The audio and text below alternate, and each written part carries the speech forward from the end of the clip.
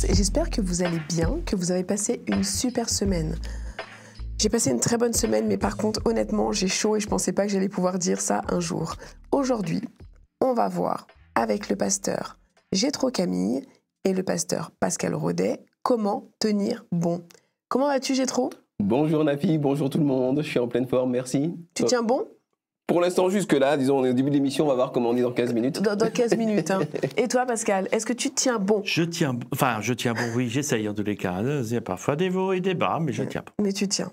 Bon, en tout cas, il- il fait très chaud, Pascal, dans le studio, là, quand même. Oui, euh, les lumières, euh, bonjour, hein, c'est- on se croirait encore. en Oui, mais tu es beau, c'est l'avantage.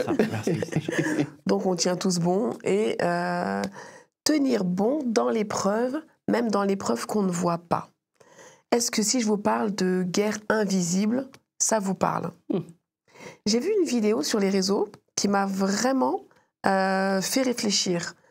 Ce sont en plus des vidéos euh, tenues par des jeunes chrétiens, j'ai trouvé qu'ils ont joué ça à merveille. Il y a un jeune qui veut sortir de chez lui. Et sur le côté, il y a le mur et il ne voit pas ce qui se présente. Et il voit passer, euh, je suppose que c'est Jésus, qui lui dit, en le voyant sortir de chez lui, surtout ne bouge pas. Et le jeune, il dit, pourquoi il veut pas que je sorte de chez moi? Mais sur le côté, je suppose que c'est Satan qui l'attend avec une batte de baseball. Mais il ne voit pas Satan qui l'attend avec la batte de baseball. Et ils font passer comme s'il y avait du temps. Et Jésus lui dit toujours Attends, attends. Le jeune s'assoit dans les escaliers. Il est énervé. Il a envie de passer. Et tout d'un coup, Satan est content. Il se dit Ah, il va pouvoir l'assommer. Mais Jésus lui dit Stop. Donc le jeune est un petit peu perturbé, mais il ne sait pas pourquoi. Il patiente et il va s'asseoir dans les escaliers. Et au bout d'un certain temps, Satan se lasse et s'en va. Et tout d'un coup, Jésus lui dit de passer. Mais ce jeune, lui, pendant très longtemps, il s'est demandé pourquoi il devait attendre. Hmm. Il n'a pas su ce qui allait se passer à ce moment-là. Cette guerre invisible, est-ce qu'elle vous parle? J'ai trop, est-ce qu'elle parle, cette guerre invisible? Ah bah oui, parce que souvent dans la vie, euh, il y a des situations où on ne comprend pas ce qui se passe, on ne comprend pas pourquoi on est dans la galère, pourquoi ça dure tellement longtemps, etc. Et puis à un moment donné, il y a un déclic, on prend du recul, on prend de la hauteur, et puis on y voit plus clair. C'est pas toujours comme ça, il y a des choses que toute la vie on ne comprendra pas. Mais bien souvent, il y a cette dimension un petit peu invisible qui euh, se révèle et qui devient plus claire euh, à un moment donné. à un moment donné. Et du coup, j'ai besoin que tu m'éclaires avec de la lecture, s'il te plaît.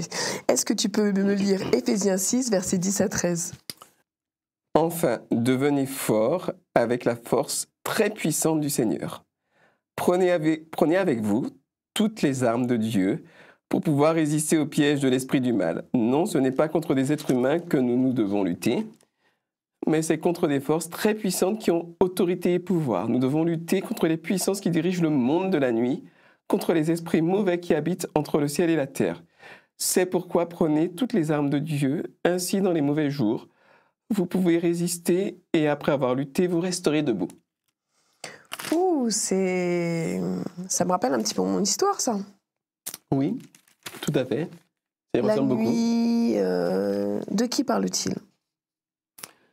Alors, la Bible explique que euh, il y a ce qu'on voit et puis il y a ce qu'on ne voit pas. Mhm. Et parmi ce qu'on ne voit pas, il y a ce qu'on appelle les mauvais esprits. Il y a toute une histoire d'anges déchus, je ne vais pas rentrer dans tous les détails, mais disons que bien souvent l'être humain est sous une influence négative et fait des choses catastrophiques, tout en pensant faire le bien et en pensant être un héros. Mhm. Alors ça peut être, ça peut être une guerre qui est menée par quelqu'un euh, contre notre peuple qu'il pense juste. Ça peut être des gens qui spéculent sur le prix du riz et qui affament des gens de l'autre côté et qui sont traités par des héros par leur banque. Euh, ça peut être plein plein de choses, mais effectivement, il y a une guerre spirituelle qui est une guerre qui est visible par certains aspects et invisible par d'autres. Pascal, que penses-tu de tout ça? Ah ben c'est le combat de toute une, euh, tout un- de tout, euh, chacun hein, en tant que chrétien, de se dire oui, en effet, il y a des esprits euh, mauvais qui sont là pour t'amener dans le mauvais chemin. C'est l'image que tu disais au début. Hein. On le voit pas, on le, mais on, il y a quelque chose ici qui pourrait me faire chuter.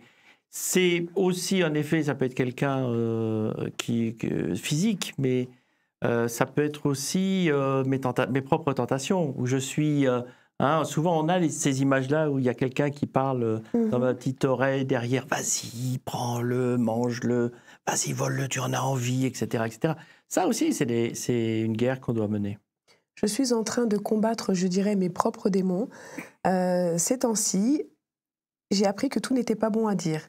Et à chaque fois que je veux dire quelque chose qui ne se dit pas, euh, je chante une chanson qui dit Seigneur, je t'ouvre mon cœur. Et je chante ça souvent en ce moment, toute la journée. Parce que du coup, j'essaye d'apprendre à dire ce qui ne se dit pas et ce qui se dit. Et du coup, ça peut être aussi lutter contre son propre soi, non? Je, je crois, je crois profondément que la guerre spirituelle, c'est bien sûr une guerre d'influence entre les forces du bien et les forces du mal, mais aussi une guerre spirituelle, comme tu l'as très bien décrit, contre les forces du bien, et entre les forces du bien et les forces du mal, qui sont à l'intérieur de notre tête. C'est-à-dire que, euh, supposons qu'avec mon ami Pascal, euh, on est en désaccord. Non, ça n'arrive Non, jamais. jamais. Non, jamais. Cela pourrait arriver dans un univers parallèle, très parallèle. eh bien, euh, ce désaccord, il pourrait soit passer comme une lettre à la poste et puis on trouve une solution, soit devenir euh, l'occasion de se pourrir mutuellement, de plus dormir, de, de, de, voilà, de, de- tergiverser dans sa tête, de tourner dans sa tête en rond, de se retourner dans son lit. Enfin bon, pourquoi? Parce que finalement, la manière dont on vit les choses, dont on voit les choses, va impacter toute notre vie émotionnelle et toute notre vie spirituelle. Et donc, tu le dis très bien, parfois c'est bien de s'arrêter, de prier un peu, ou de faire silence, ou de chanter un petit peu, ou de faire diversion pour ne pas se laisser su- submerger, Par ses envahir par les, les- les émotions négatives et les galères dans lesquelles on est. Donc oui, il y a une partie de la guerre spirituelle qui euh, se joue à l'intérieur de sa petite caboche. Mais tout ne se joue pas à l'intérieur de nous. Il y a quand même des combats euh, à l'extérieur qui Il y a se jouent. aussi des combats. à C'est invisible, on ne le voit Oui, pas, mais ça sûr. existe. hein. Sûr, euh, la personne qui te qui t'insulte parce que tu es chrétien et c'est n'importe quoi, tu es naze encore, euh, de croire encore à ce genre de choses-là, et vraiment, tu es moins que rien, c'est bien quelqu'un de l'extérieur qui t'envoie bien euh, Un gros pic. les boulets euh, sur toi et qui te, et, et qui te casse. Alors oui, bien sûr, c'est- aussi de se dire, mais euh, pour reprendre un peu la même euh, image que j'ai trouvé à donner, il essaye d'avoir une influence sur toi en te disant des choses comme cela. Maintenant, c'est à toi de savoir quel est l'impact que tu veux ou pas avoir euh, sur toi euh, en entendant ces mots. Est-ce que tu les prends comme quelque chose, Ah, c'est terrible, etc. Et là, ça, en effet, ça te prend la tête, littéralement, ça te remplit la tête. Euh, ou est-ce que, bon, bah, c'est bien, si tu crois ça, tant, mieux pour toi. Mais moi, je continue mon chemin. Et là, c'est pas du tout la même, la même relation. Et la guerre est pas la même, parce que la guerre s'arrête aussitôt, parce qu'il n'y a pas de. On rajoute pas euh, une querelle à une querelle. Donc c'est quelque chose de très intelligent. Ça- Alors, oui, mais c'est pas facile non plus. Et c'est aussi hein. quelque chose auquel euh, il faut se battre. Ça, par contre, ça fait partie du combat où on doit se dire allez, Pascal, prends le principe que ça ne doit pas. euh, tu ne dois pas le prendre au premier degré euh, comme ça. Si je peux, par rapport Tu à ce qui est dit. Je veux bien. Merci, ma fille. Eh bien, il y a une amie qui travaillait dans une centrale d'achat et euh, les pratiques n'étaient pas toujours très honnêtes, quoi. Et elle ne voulait pas euh, surfacturer, elle ne voulait pas euh, arnaquer les gens. Mm. Et c'était compliqué parce que ceux qui arnaquaient et qui surfacturaient gagnaient en, pro- en- enfin, en promotion. Promotion. Ils montaient dans l'échelle, ils avaient des primes, etc. Et elle, qui voulait être honnête, ben, elle restait toujours au même niveau, elle était même mal vue. Et donc, comme le dit Pascal, oui, c'est ce qu'il y a de mieux à faire, de, de rester intègre, mais ça n'est pas évident. Parce qu'il y a une forme de pression, soit directe d'agression, soit une forme indirecte par le- ben, l'absence de reconnaissance de ton intégrité, de ton honnêteté. Quoi. Pascal, est-ce que tu pourrais me lire, s'il te plaît, Éphésiens 6, versets 14 à 20 Alors, debout, prenez la vérité comme ceinture, mettez la justice comme cuirasse. Prenez comme sandale l'ardeur pour annoncer la bonne nouvelle de la paix. Toujours et partout, prenez le bouclier de la foi. Avec lui, vous pourrez éteindre les flèches brûlantes de l'esprit du mal. Recevez aussi le casque du salut et l'épée de l'Esprit Saint, c'est-à-dire la parole de Dieu. Priez sans cesse, faites toutes vos prières et vos demandes par l'Esprit Saint. Soyez bien attentifs et priez toujours fidèlement pour tous les chrétiens. Priez aussi pour moi, afin que Dieu mette sa parole dans ma bouche, alors j'annoncerai avec courage le mystère de la bonne nouvelle. Je suis le porte-parole de la bonne nouvelle, et pour elle, je suis attaché avec des chaînes. Priez pour que je parle avec courage comme je dois le faire. J'identifie ça à une tenue que je pourrais porter euh, comme si ma jupe c'était la jupe de la vérité, mon haut c'était euh, le haut de l'honneur. C'est quand même un code de conduite qui est quand même. Est-ce que c'est une arme pour se prévaloir des méchancetés qu'on pourrait rencontrer en face de nous?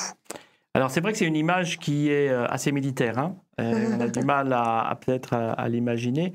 Euh, Quoique, à force de regarder les films de guerre, on s'imagine qui est protégé dans Mhm. telle guerre, de telle arme, etc. On a une guerre en ce moment et on a bien compris que c'était euh, le type d'arme qui faisait la différence. Malheureusement. Dans le texte, euh, on a la même chose. Euh, et à l'époque, c'est vrai qu'ils étaient habitués à avoir des Romains. Donc, Mhm. on savait ce qu'était la, la, tout- toute l'armure. Mais il est évident, et c'est ça que je, je pense l'image la plus importante, euh, dans toutes les sociétés, le type d'armes que Oui. tes soldats portent vont te permettre de gagner ou pas. L'organisation est importante, mais le type d'arme est important.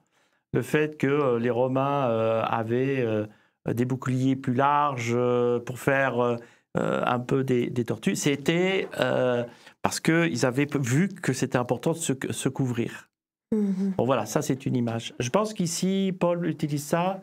Alors c'est vrai que c'est peut-être compliqué au jour d'aujourd'hui, mais oui, il faudrait prendre cette image comme se dire, qu'est-ce qui peut me permettre de me protéger, euh, d'éviter euh, les difficultés le mal que ce qui est de l'extérieur peut faire sur moi, euh, le bouclier, etc. Et il suffit de reprendre les termes, hein, la foi, ma relation avec Dieu, ma certitude avec cette relation que je peux avoir, et surtout, et je pense que ça c'est important, l'image que Dieu a de moi, qui est bonne. Donc ça aussi, il faut que je... ça- ça, c'est une arme. C'est pas, c'est pas ce que moi, j'imagine de moi. C'est ce que Dieu imagine de moi qui est important. La confiance en soi, en fait, en gros, dans la foi, c'est très important. Tout à fait. Alors, j'ai trop. euh, merci. Tu as, tu m'as répondu comme si j'étais une adulte. Je suis une adulte, donc je le prends bien, merci. Mais si je devais décrire ça à un enfant qui me dit Je rencontre des problèmes. Tu as des enfants d'ailleurs, j'ai trop, qui sont Oh. quand même assez jeunes, de mémoire. Et si jamais ils viennent te voir et te disent Je rencontre des difficultés à l'école, on se moque de moi, et euh, même parfois on m'attaque un peu violemment, verbalement, comment leur décrire Comment leur décrirais-tu ce bouclier de la foi? En fait, euh, je vais reprendre tes propres paroles. C'est-à-dire que quand tu es proche de Dieu, ta confiance en soi, elle augmente. Ton sentiment de sécurité, il augmente. Et les agressions, elles te font moins mal. Ou bien, ça t'arrive même, ça m'est arrivé, ça m'arrive pas tous les jours, mais ça m'est arrivé de ressentir de la peine et de la compassion pour mes agresseurs. Je pense que ça a déjà dû vous arriver aussi de, voir des gens qui se débattent dans leur agressivité, dans leur euh, amertume, et puis vous ressentez, même si c'est contre vous, vous ressentez plus de la peine et de l'amour euh, pour ces personnes-là. Sens de la pitié, c'est pas normal? Alors, la pitié, ça peut être un peu méprisant. ça- alors, ça dépend de ce qu'on met derrière. Quoi. La pitié, ça peut être bien. Ça dépend de, la- de- de ce qu'on met derrière le mot. D'accord. C'est pour ça que je parle de compassion et De se dire, bon, cette personne serait tellement plus heureuse, tellement mieux à... En fait, la première fois que j'ai vraiment ressenti ça, c'était à propos du racisme. Parce qu'un jour, j'ai compris que quelqu'un qui est vraiment bien dans sa peau, qui, qui est bien dans sa vie, bien dans ses baskets, n'a pas besoin de détester qui que ce soit. Et qu'il y a des gens qui vivent en permanence dans le racisme et dans la peur d'autrui. Et que c'est triste. C'est triste. Et avant, je me considérais, quand j'étais ado, un peu comme une victime du racisme, entre guillemets. Maintenant, je suis victime d'aucun racisme. Ce sont les gens qui, racistes qui sont victimes de leur propre racisme. Voilà, donc c'est un petit peu ce que j'essaie d'expliquer à mes gamins. Et puis aussi qu'il y a des règles, qu'il ne faut pas non plus se laisser harceler. Enfin voilà, mais en termes de vie intérieure, quand on est proche de Dieu, ça n'a pas le même sens. Tu sais ce que tu viens de dire sur euh, victime du racisme et autres? Un jour, mon père m'a expliqué. Il m'a dit Tu sais, quand quelqu'un a la haine contre toi, c'est pas toi que ça va ronger. C'est lui que ça ronge intérieurement. Donc, le mieux, toi, c'est de te sentir bien.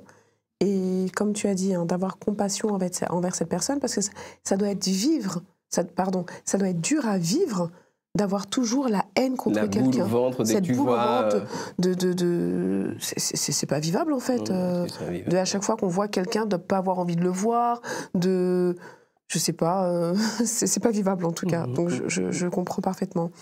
Et est-ce qu'on pourrait, euh, je sais pas Pascal, euh, donner trois arguments, trois armes pour terminer cette émission, dire aux gens, voilà, il faut que tu aies la foi, il faut que tu pries, il faut que tu...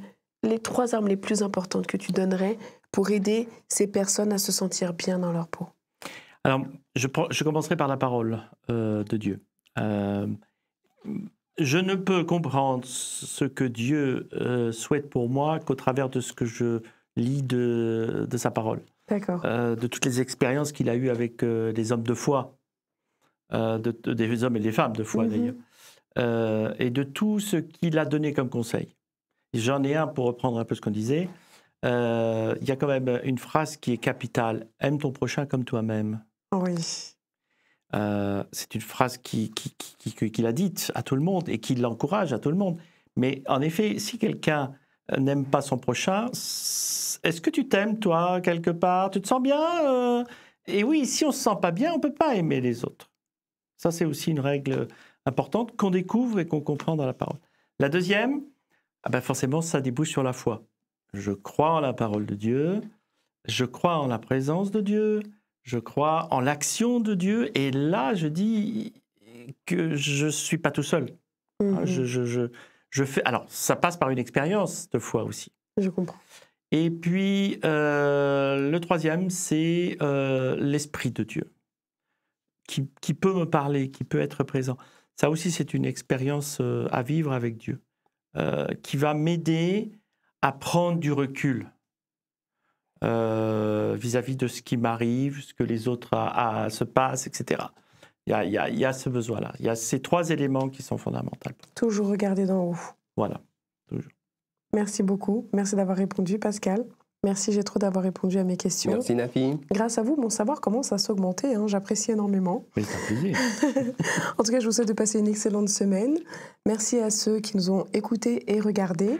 Et si vous souhaitez en savoir plus, ben encore une fois, les émissions précédentes peuvent euh, vous enrichir autant qu'elles m'ont enrichi. Très bonne semaine à vous tous. Bonne semaine et à la semaine prochaine.